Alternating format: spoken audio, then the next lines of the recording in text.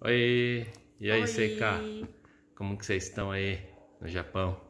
Vocês estão aqui embaixo do outro lado. Bom, nós estamos aqui para dar um recado rapidinho para vocês aí, para você, prima. É... Tá igual o Covid aqui, ó. Tudo vai passar. Pode ter certeza disso. Tudo passa nessa vida, é tudo um aprendizado.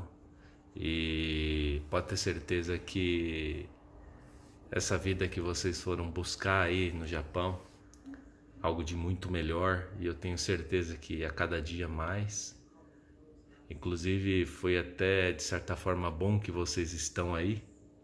E você, eu quero acreditar que deve estar tendo uma uma um cuidado muito bom aí no Japão, né? Que aqui não seria assim que nesse aqui não, momento. não né? seria assim. Então, assim, olhe de forma muito positiva, agradeça todos os dias a Deus, aos nossos antepassados, seus, e seu anjo da guarda, e que Deus sabe o que é melhor para cada um de nós.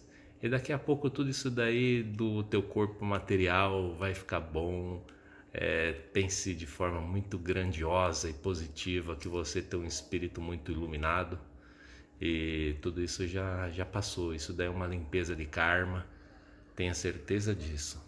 Então, aqui um beijão do primo, da Sabrina que já foi dormir, Da prima, da prima. Fala alguma coisa. hum, eu queria falar que Deus coloca literalmente a gente no lugar certo, com as pessoas certas. E se você tá passando por isso, é porque alguma coisa a gente tem que aprender, né? Mas você está no lugar certo e eu tenho certeza que você vai tirar isso de letra. É, tudo já passou, tudo já deu certo e você vai sair disso muito melhor Com certeza.